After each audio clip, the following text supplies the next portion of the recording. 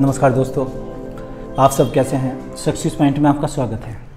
तो आज जो हम करते हैं सो, ये हाई कोर्ट के बारे में। हाई कोर्ट के जो कुछ आर्टिकल्स बचे हुए हैं, एक तो ये करना है और दूसरे हाई कोर्ट्स की हमें टेबल बनानी है एक, है ना? कि कौन से हाई कोर्ट के अंतर्गत, यानी कि क्षेत्राधिकार के अंतर्गत कौन कौन से राज्य आते हैं।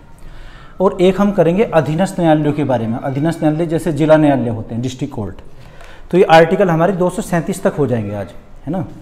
वन ये टू ट्वेंटी सिक्स से टू थर्टी सेवन तक आर्टिकल्स करने कंप्लीट देखना हाई कोर्ट के हमने किए थे 225 तक।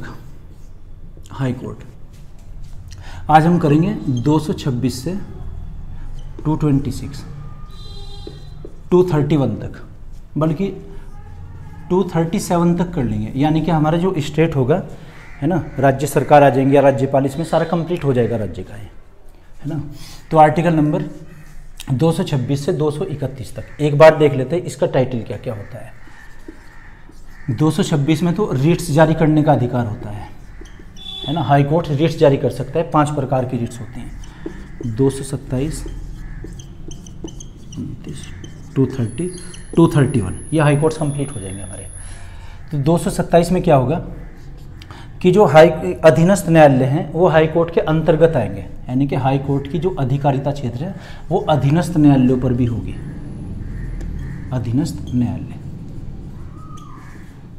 न्यायालयों पर लागू होगी। ओके। 228 में होगा कि हाई कोर्ट किसी भी केस को अपने पास ट्रांसफ़र करवा सकता है, जो अधीनस्थ न्यायालय में चल रहा होता है। स्थानांतरण। स्थानांतरण। केस को अपने पास मंगा सकता है।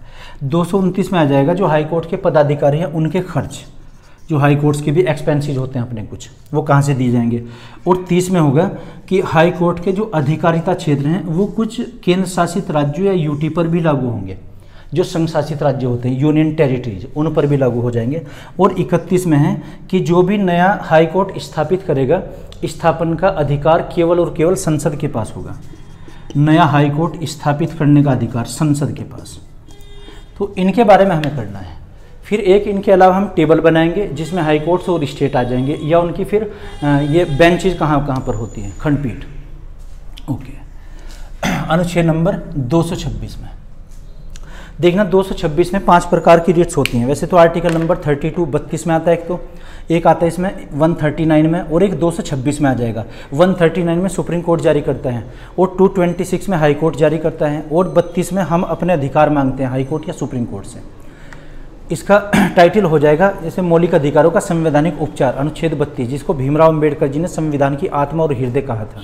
है ना, उस बारे में बात कर रहे हैं। तो पाँच प्रकार की रिट्स कौन कौन सी होंगी? नंबर एक, परमादेश, मैंडामस। नंबर दो, अधिकार परीक्षता क्यू आरंटो तीन नंबर हो जाएगा, बंदी प्रत्यक्षीकरण, habeas corpus.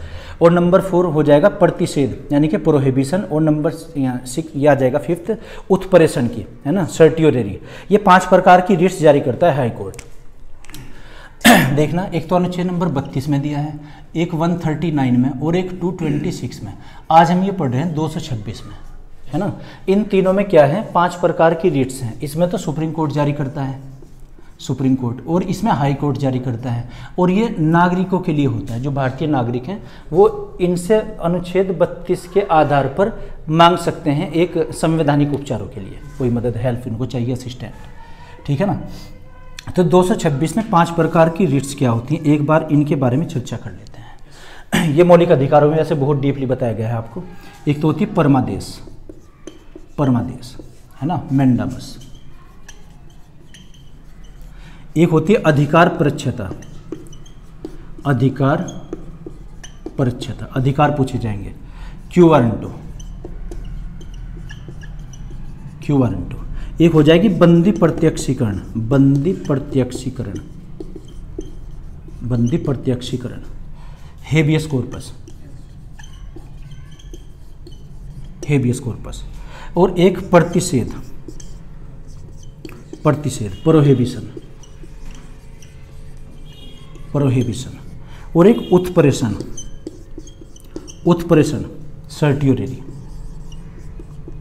R A, R Y, certiorari. पाँच प्रकार की रिस्क होंगी। One two three four five है ना? इसमें ज़रूरी नहीं कि आप इसी क्रम में, इसी सीक्वेंस में याद रखें। आप सेकंड को फ़र्स्ट पर बोल सकते हैं फ़र्स्ट को थर्ड पर कोई दिक्कत नहीं है। देखना, सामान्य भाषा में इसको स्टे भी बोलते हैं। स्टे या याचिका याचिका, या फिर रिट्स। रिट्स। तो रिट्स जारी करने का अधिकार किस किस को है? जो भी अभिलेख न्यायालय होंगे, अभिलेख न्यायालय कौन कौन से होते हैं? हाई कोर्ट और सुप्रीम कोर्ट। ये पाँच प्रकार की रिट जारी कर सकता है। अगर किसी भारतीय नागरिक के मौलिक अधिकारों का हनन किया गया है तो वो सुप्रीम कोर्ट में जा सकते हैं डायरेक्ट, है ना? परमादेश की रिट हाईकोर्ट कब जारी करता है? जब कोई सरकारी पदाधिकारी अपने कर्तव्यों का पालन नहीं करता है, जो उसकी ड्यूटी है, अगर वो अपना काम नहीं करता तो परमादेश की रिट जारी होगी सरकारी पदाधिकारी के लिए। अधिकार परीक्षता की रिट, क्यू वारंटो, अधिकार परीक्षता की रिट हाईकोर्ट तब जारी करते हैं?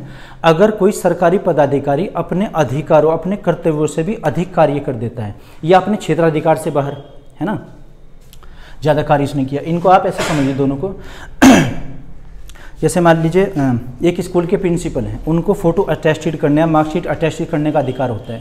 जैसे करते हैं ना, नेट जे के लिए। तो उसी कॉलेज के प्रिंसिपल करेंगे प्रधानाचार्य। अगर वो नहीं करते तो उनके खिलाफ एक परमादेश की रिट जारी हो सकती है कि इन्होंने अपना ये कार्य क्यों नहीं किया, जबकि इनके करने का था।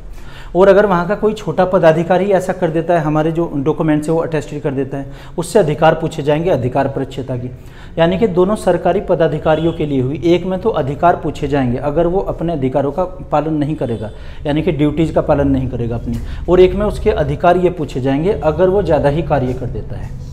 बंदी प्रत्यक्षीकरण, किसी प्राइवेट व्यक्ति या किसी सरकारी व्यक्ति को अगर अवैध रूप से बंदी बनाया गया है, तब उसकी जमानत होगी, पहले बेल के लिए जारी करते हैं। है ना हाई कोर्ट एक बेल के लिए स्टे, याचिका या रिट जारी करेगा। है ना, इसका अर्थ होता है शरीर प्राप्त करना। क्वेश्चन है कि हेबियस कॉर्पस किस भाषा का शब्द है? लेटिन भाषा का शब्द। अर्थ क्या होता है इसका? शरीर प्राप्त करना। यानी कि अगर हमें बंदी बना लिया गया, वहाँ पर हमारे जो हल्फी बयान है, वो काम नहीं करेंगे। है ना? यानी कि पहले हमें बाहर निकाला जाएगा लोकअप से। या अगर हम जेल में हैं तो जमानत की जाएगी। उसके बाद में फिर जो हम बोलेंगे, यानी कि वो रिकॉर्डेड होगा फिर। ओके प्रतिषेध और उत्प्रेषण दोनों की रीट ये अधीनस्थ न्यायालयों के लिए जो भी अधीनस्थ न्यायालय होंगे। अधीनस्थ न्यायालय के लिए जारी होगी जैसे जिला कोर्ट होती है डिस्ट्रिक्ट कोर्ट। तो जिला जो न्यायालय होगा वो अधीनस्थ न्यायालय हाई कोर्ट के सामने अगर उनमें कोई ऐसा केस चल रहा होता है जो उनके अधिकार क्षेत्र से बाहर है। मान लीजिए धारा 302 का मामला है धारा 302 सेक्शन 302 किस पर लगता है? ये तो आ, उसके लिए होता है जब डेथ पेनल्टी दी जाती है। किसी ने हत्या की है किसी की। अब इसको डेथ पेनल्टी या फिर मौत की सज़ा दी जानी है। मौत की सज़ा जो देंगे कैपिटल सेंटेंस वो तो हाई कोर्ट या सुप्रीम कोर्ट देता है। लेकिन अगर यहाँ पर अधीनस्थ न्यायालय ने के जिला न्यायालय ने भी ऐसी कोई सुनवाई कर दी है जो उसके अधिकार क्षेत्र में नहीं है हाईकोर्ट प्रतिषेध की रिट जारी करके उस केस को अपने पास ट्रांसफ़र करवा लेगा। क्योंकि वो आदेश वो जजमेंट तब तक मान्य नहीं होगा अगर जिला जज ने हाई कोर्ट से सत्यापित नहीं कराया है वो ऑर्डर अगर बिना सत्यापन के उसने जारी कर दिया, है ना? अब वो गलत ऑर्डर हो जाएँगे। प्रतिषेध की रिट अधीनस्थ न्यायालयों पर जारी होगी। ऐसे अधीनस्थ न्यायालयों में वो केस जो उसके अधिकार क्षेत्र में नहीं आते, अगर वो ऐसो पर सुनवाई करते हैं। दूसरा, उत्प्रेषण की रिट कब जारी होगी? अगर किसी अधीनस्थ न्यायालय ने ऐसा कोई फैसला दे भी दिया हो जो उसको नहीं देना चाहिए था, जो उसके अधिकार क्षेत्र में नहीं था। है ना? तो ये दोनों तो अधीनस्थ न्यायालयों के लिए हैं जिला न्यायालयों के लिए। और ये दोनों सर, आ, आ, सरकारी पदाधिकारियों के लिए आ जाएँगे। और बंदी प्रत्यक्षीकरण की रिट हेबियस कॉर्पस की रिट ये सरकारी और प्राइवेट दोनों के लिए। याद रहेगा ना? तो 226 में क्या है कि हाई कोर्ट इसमें पाँच प्रकार की रिट्स जारी कर सकता है कौन सी कब करनी है ठीक है ना? तो रिट्स का मामला किन किन अनुच्छेदों में है? बत्तीस में एक सौ उनतालीस में और 226 में। इन आर्टिकल्स में आ जाएगा। ओके अब पढ़ते हैं दो सौ सत्ताईस। टू ट्वेंटी सेवन में हाई कोर्ट अधीनस्थ न्यायालय। हाई कोर्ट के जो अपने जजमेंट होंगे, है ना यह अधिकारिता क्षेत्र, ये अधीनस्थ न्यायालयों पर भी लागू होगी। देखना हाई कोर्ट एक अभिलेख न्यायालय होता है तो अभिलेख न्यायालय का मतलब है जो वो डिसीज़न देगा, वो स्क्रिप्टेड होंगे कि लिपिबद्ध कर लिए जाएँगे, और वो अधीनस्थ न्यायालय में साक्ष्य के रूप में दिखाए जाएँगे जब ज़रूरत उनकी पड़ेगी। ठीक है ना? तो सत्ताईस में क्या हुआ कि हाई कोर्ट की जो जजमेंट है या निर्णय या डिक्रीज होंगी, ये अधीनस्थ न्यायालयों पर भी लागू होंगी। है ना? केवल टाइटल याद रखो। 28 में 228 228 में क्या है कि अगर कोई केस ऐसा चल रहा है जो अधीनस्थ न्यायालय में है है ना, उसको हाई कोर्ट कभी भी स्थानांतरित करवा सकता है अपने पास। Case transfer. केस ट्रांसफ़र हो सकता है, स्थानांतरित। है ना? हाई कोर्ट को ऐसा लगता है कि इस केस में पेंडेंसी बहुत ज़्यादा होगी, है ना? बहुत टाइम इसमें लग गया। तो उसकी छानबीन करने के लिए अपने पास ट्रांसफ़र करवा सकता है, दो सौ अट्ठाईस में। उनतीस में क्या है? हाई कोर्ट के अपने कुछ खर्च हुआ करते हैं। उच्च न्यायालय के भी अपने खर्च होंगे, वहाँ के कुछ पदाधिकारी होंगे, है ना? कुछ और भी एक्सपेंसेज होंगे। तो वो खर्च कहाँ से दिए जाएँगे? राज्य की समाकलित निधि या संचित निधि से हाई कोर्ट के अन्य पदाधिकारियों के खर्च। एक्सपेंसेज जो होंगे, ये कहाँ से? राज्य की समाकलित निधि या संचित। संचित निधि से दिए जाएँगे वो। Okay article number 230 high court के कार्य जुरिस्डिक्शन ये केंद्र शासित राज्यों पर भी लागू होगी कहीं कहीं। आपने देखा ना कि केंद्र शासित राज्य सिर्फ़ एक है दिल्ली, जिसका अपना स्वतंत्र हाई कोर्ट है। बाकी जो भी और यूटीज़ हैं, उनका अपना हाई कोर्ट नहीं है। वो किसी ना किसी हाई कोर्ट के साथ में अटैच किए गए हैं। जैसे अगर कहें कि अंडमान निकोबार का हाई कोर्ट कौन सा है? कोई सा भी नहीं। कोलिकाता हाई कोर्ट की जो जुरिस्डिक्शन है, वो अंडमान निकोबार पर भी लागू होगी। मद्रास हाई कोर्ट है जैसे, चेन्नई, है ना? इसकी अधिकारिता क्षेत्र पांडिचेरी पर भी लागू होगी। तो जो सॉरी हाई कोर्ट का अधिकारिता क्षेत्र हाई कोर्ट का जुरिस्डिक्शन जुरिस्डिक्शन या अधिकारिता क्षेत्र। अधिकारिता क्षेत्र। ये किस पर लागू होगा? ये केंद्र शासित या संघ शासित राज्यों पर भी लागू होगा। केंद्र शासित राज्यों पर लागू होगा। ठीक है, याद रखिए बात? ओके, आगे बढ़ते हैं। आर्टिकल नंबर 231 नया हाई कोर्ट संसद बना सकती है। देखना। आर्टिकल नंबर दो से चौदह में हमने पढ़ा था कि प्रत्येक राज्य का एक हाई कोर्ट होगा, दो या दो से अधिक राज्यों का एक हाई कोर्ट बन सकता है। अगर नए हाई कोर्ट की स्थापना की बात आती है तो स्थापना कौन कर सकता है? संसद। केवल और केवल संसद को अधिकार है। अनुच्छेद नंबर 231 पढ़ेंगे 231 में क्या? कि नए हाई कोर्ट की स्थापना केवल संसद करेगी। हाई कोर्ट की स्थापना करने का अधिकार संसद के पास है। केवल और केवल संसद कर सकती है बस। ठीक है ना? अभी आपको एक टेबल लिखवाएँगे जिसमें सभी हाई कोर्ट्स उसके मुख्यालय और उनकी जो बेंच है सर्किट्स वो कहाँ खंडपीठ, कहाँ बनी हुई है, ठीक है ना? इसे आप नोट कर लीजिए तब तक। अच्छा तो अब हम करते हैं उच्च न्यायालय की खंडपीठ के बारे में कि कौन सा उच्च न्यायालय है, किस राज्य का होगा, उसका मुख्यालय कहाँ पर होगा, उसकी खंडपीठ। देखना, खंडपीठ को बेंच कहेंगे बेंच है ना? शाखा, जैसे ब्रांच होती है ना तो हाई कोर्ट की क्या हो जाएगी? बेंच या सर्किट भी कहेंगे, हिंदी में खंडपीठ या ब्रांच कहा है इसके ना? ब्रांच ना क्या कर? बेंच ओके तो हाई कोर्ट्स कितने हैं? ट्वेंटी फाइव कौन सा इसमें नया बना है सबसे? किसकी खंडपीठ कहाँ पर ये बहुत ज़्यादा क्वेश्चन आ रहे हैं। तो जैसे जम्मू कश्मीर हाई कोर्ट होगा। बोर्ड क्या होगा? लिखा हुआ जम्मू कश्मीर हाई कोर्ट श्रीनगर। उसकी बेंच कहाँ है? जम्मू में है। हम्म। तो जम्मू कश्मीर की जो पहला हाई कोर्ट ही कहाँ पर? श्रीनगर। श्रीनगर में तो श्रीनगर, में इसका मुख्यालय है है ना? और बेंच इसकी खंडपीठ कहाँ पर बनी हुई है? जम्मू में। जम्मू। ऐसे याद करने हमें। हिमाचल प्रदेश का कहाँ है? हिमाचल प्रदेश का शिमला में। शिमला में इसका मुख्यालय। यानी कि हिमाचल प्रदेश हाई कोर्ट, शिमला। इसकी कोई खंडपीठ नहीं है। ऐसे उत्तराखंड का कहाँ पर हो जाएगा? नैनीताल। नैनीताल। देखना उत्तराखंड के मामले में एक दीक्षित आयोग है जो इसकी जाँच कर रहा है। दीक्षित आयोग ने अपनी रिपोर्ट प्रस्तुत कर दी। उसने रिकमेंड किया है कि हाई कोर्ट तो होना चाहिए देहरादून में और यहाँ की जो कैपिटल है वो नैनीताल में होनी चाहिए। अब क्या है? कैपिटल तो देहरादून है और हाई कोर्ट उसका नैनीताल में ये चेंज हो जाएगा फिर। अस्थायी रूप से बनी हुई है नैनीताल में। अस्थायी। है ना? इसकी कोई खंडपीठ नहीं है। कोई ब्रांच नहीं है, कोई सर्किट नहीं है। ओके उत्तर प्रदेश का कहाँ है? ये इलाहाबाद में आ जाएगा। है ना? इलाहाबाद या प्रयागराज। इसकी कोई खंड ये सॉरी खंडपीठ तो इसकी लखनऊ में है। इसकी खंडपीठ कहाँ है? लखनऊ में। बेंच कहाँ लगती है? लखनऊ। ओके अगली मांग करने की मेरठ में या कहीं पर स्थापित हो जाए, लेकिन वो हुई नहीं अभी तक। ऐसे पंजाब, हरियाणा और चंडीगढ़, इन तीनों का, इन तीनों का कहाँ है? चंडीगढ़ में। चंडीगढ़। इसकी कोई खंडपीठ नहीं है। ऐसे ही राजस्थान का कहाँ है? जयपुर में सॉरी जयपुर में तो इसकी बेंच है। ये जोधपुर में है बना हुआ। जोधपुर। जोधपुर। और इसकी बेंच कहाँ है? जयपुर। जयपुर। देखना, ज़्यादातर हाई कोर्ट्स उनकी राजधानी में है, लेकिन कुछ राज्य ऐसे हैं जिनका मुख्यालय हाई उसकी राजधानी में नहीं है। और राजधानी में उनकी बेंच बनी हुई है। उत्तर प्रदेश का भी ऐसी है लखनऊ में केवल बेंच है, उसकी शाखा है। और ऐसे ही जयपुर का भी है, जबकि इनका हेडक्वार्टर्स कहाँ है? इलाहाबाद में और जोधपुर में। ओके गुजरात का कहाँ है? अहमदाबाद में। अहमदाबाद। इसकी कोई पीठ नहीं है। महाराष्ट्र, गोवा दमन दीव दादरा, नगर, हवेली, इन चार राज्यों का इन चार राज्यों का कहाँ जाएगा? बम्बई में आ जाएगा। अब तो नाम चेंज हो गया मुंबई। हाई कोर्ट इसकी बम्बई ही लगती 2016 में इसका नाम चेंज कर दिया मुंबई। ये कहाँ है? मुंबई में। और इसकी जो ब्रांच होगी बेंचेज है ना, खंडपीठ, एक तो आ जाएगी बम्बई में मुख्यालय, पणजी में एक तो। पणजी में इसकी शाखा। और एक है औरंगाबाद। औरंगाबाद। और एक आ जाएगी नागपुर। नागपुर।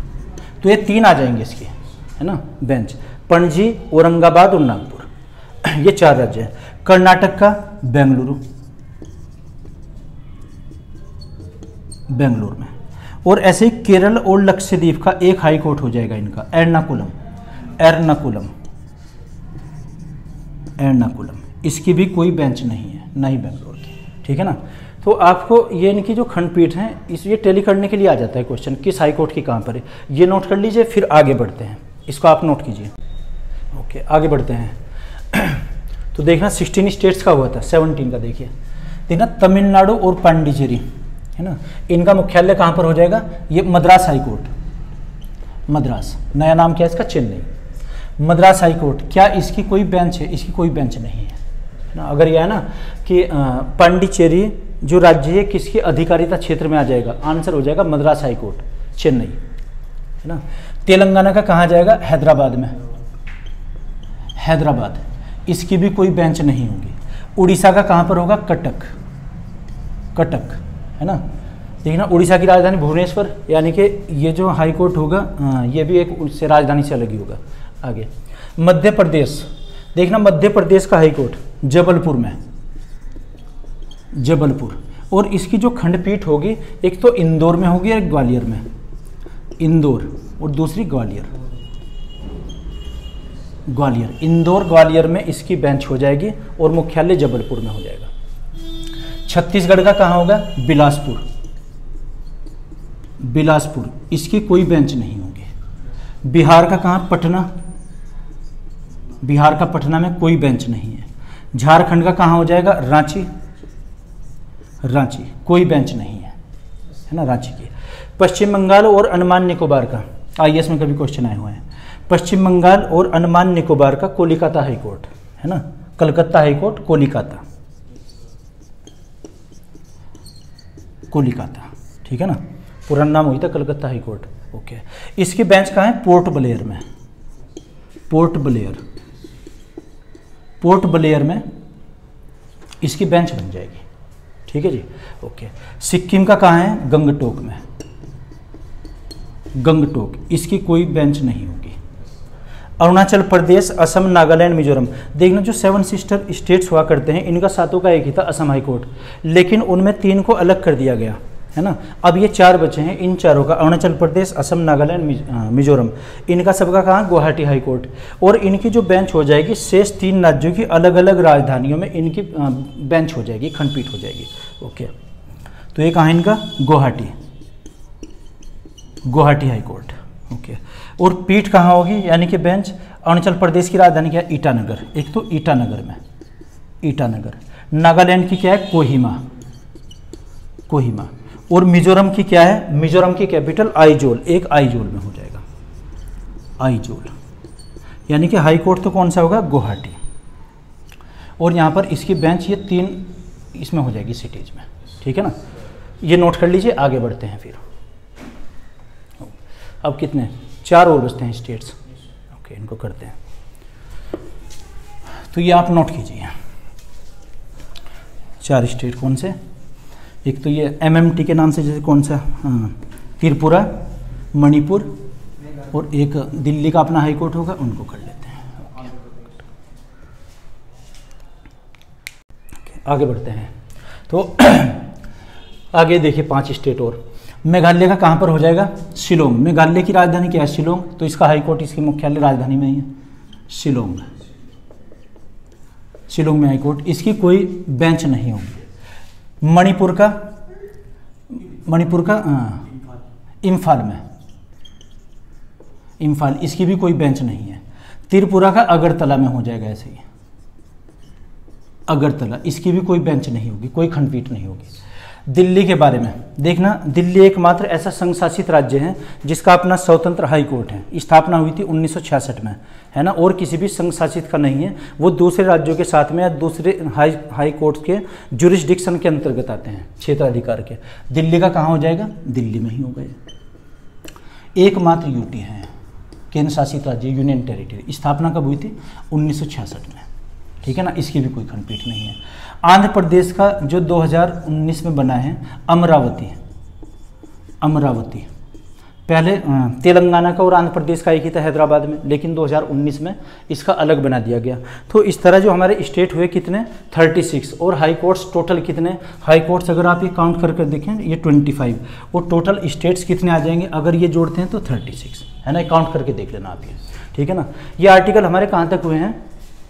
ये जैसे दो सौ सैंतीस तक हम पढ़ेंगे तो 231 तक हो गया हमारे। हाई कोर्ट के बारे में हमने पढ़ा है दो चौदह से और 231 तक, यह हाई कोर्ट के बारे में, ठीक है ना?